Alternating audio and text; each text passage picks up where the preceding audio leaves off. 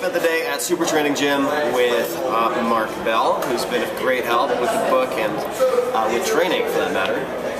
And we've had a chance to look at some of the gear, see a lot of the platforms, some of the other lifters, many of whom are pulling up the floor, six, seven, eight plates on the other side. Yeah, we had eight plates on each side today. Yeah, we loaded it up pretty good. Which is heavy. And uh, this is one of my favorite gyms in Northern California, if not my favorite. We're in Sacktown, Sacramento.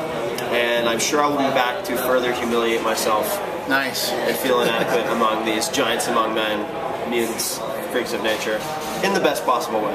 It's not very nice. All right. See you guys.